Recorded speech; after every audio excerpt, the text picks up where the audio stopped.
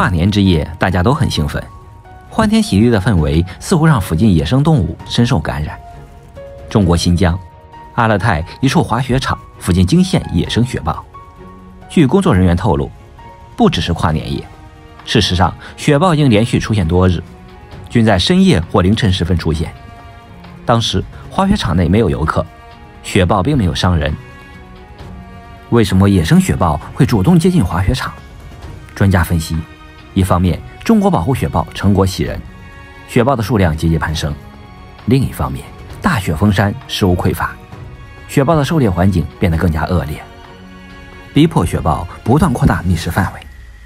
那么，雪豹的生存环境究竟是怎样的情况？让我们跟随镜头。去高山之巅一探究竟。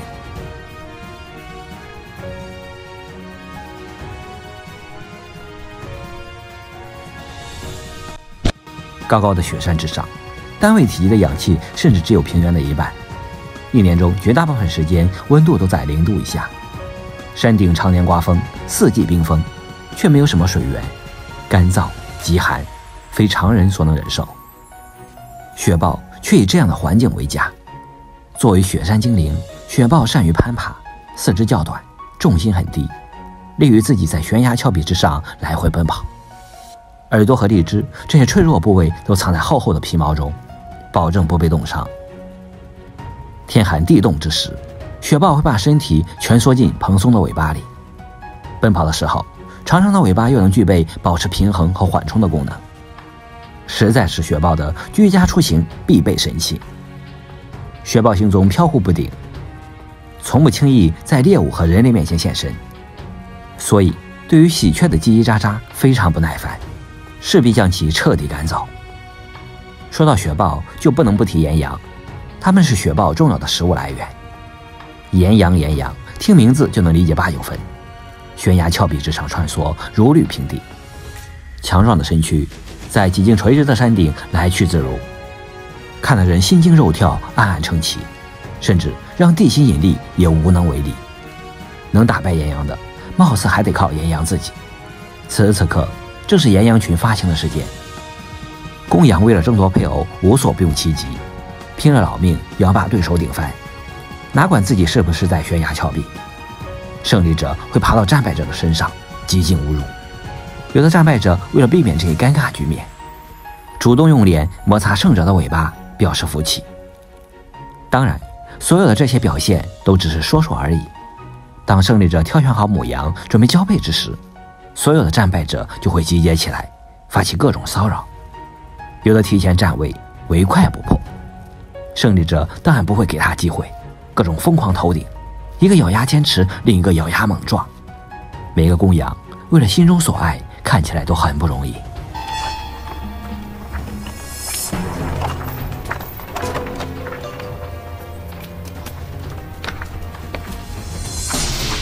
有的公羊看起来温顺服从，却在关键时刻发起致命攻击，一个萝卜一个坑，即便胜利者也不敢轻易让位。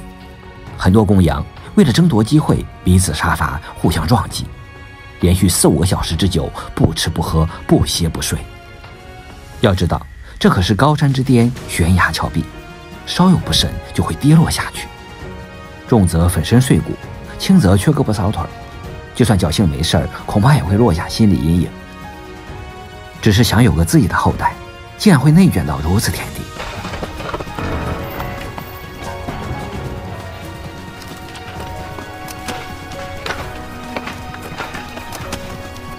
当然，看热闹不嫌事大，咱们的雪豹就在附近窥探，看样子那是相当满意。别看岩羊打斗的天昏地暗，看起来各种无敌。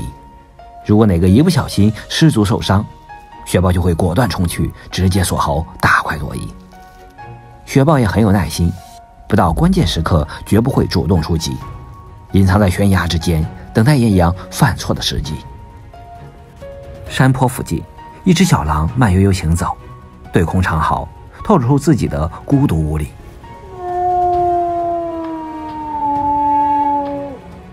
它已经长大，被家族赶出。必须要自力更生，找到新的狼群。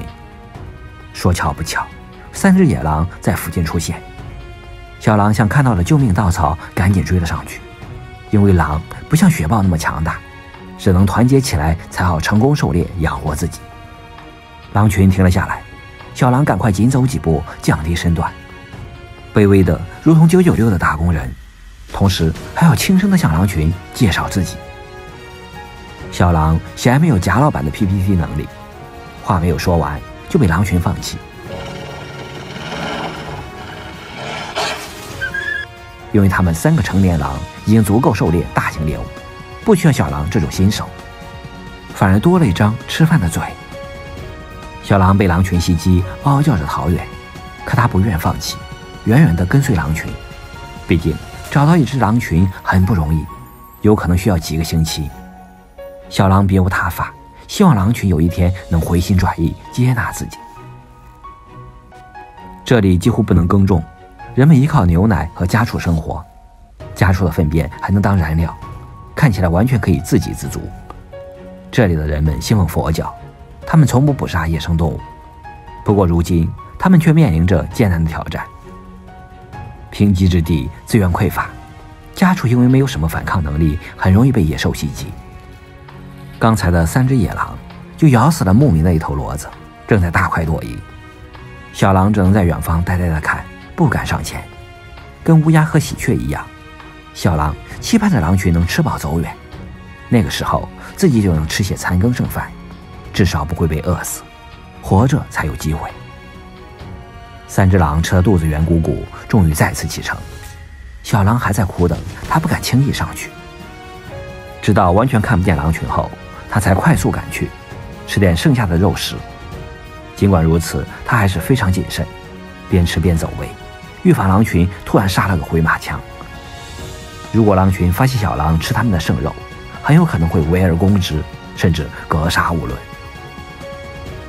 成年母岩羊基本上都怀有身孕，公羊离开这个山坡前往别处。他们要把最好的草地留给母羊，不和怀孕的母羊争抢食物。母羊们吃得非常舒服，营养又美味，一时间情不自禁跳了起来，而快乐会传染。所有的母羊都精力旺盛，疯狂跳跃，完全看不出怀孕的样子。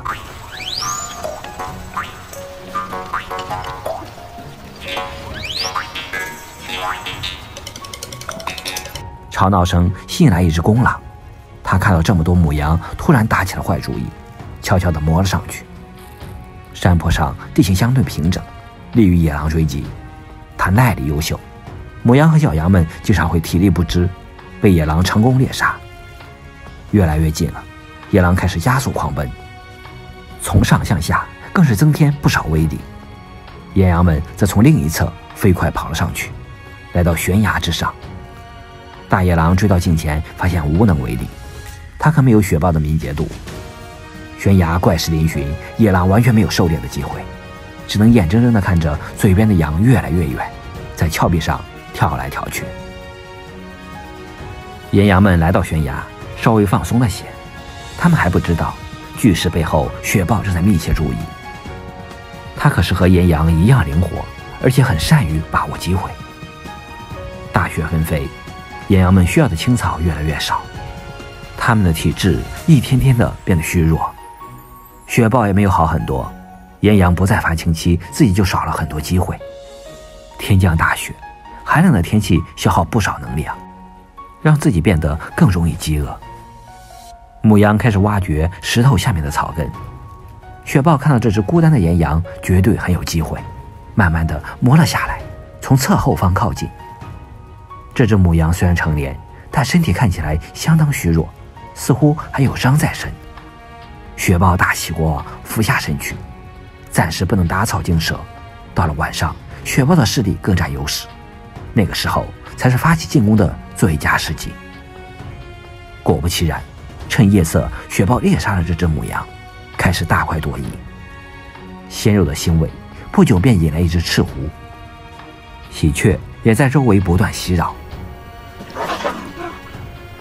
雪豹吃不了这么大个的岩羊，但是大雪封山，猎物实在太难捕杀，雪豹怎么可能拱手让人？可随着太阳越来越高，这个地方对雪豹来说太热了。它需要到上方悬崖找一个阴凉之地。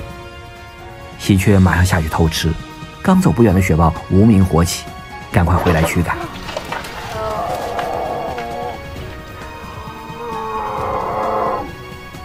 可终究，炎热的太阳逼迫雪豹离开。尽管他一步三回头，很是犹豫。喜鹊有够坏的，熬走雪豹之后，对旁边的赤狐也是各种捉弄。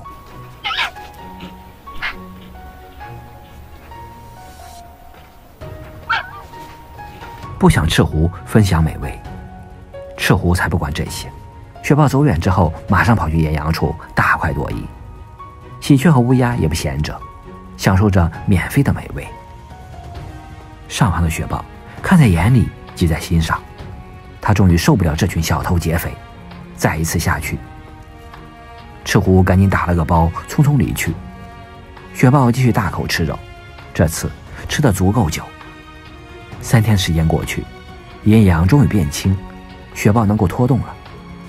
他会把岩羊拖到洞里，直到吃个精光，才会开始下一次狩猎。不管是雪豹还是其他动物，对于食物都是相当珍惜，因为每一份食物都有着无数的汗水，还需要一点点的运气。人类社会虽然食物相对丰盛，可现在还是有很多人不能吃饱。所以，我们同样需要爱惜粮食，拒绝浪费。点赞加关注，生活有温度。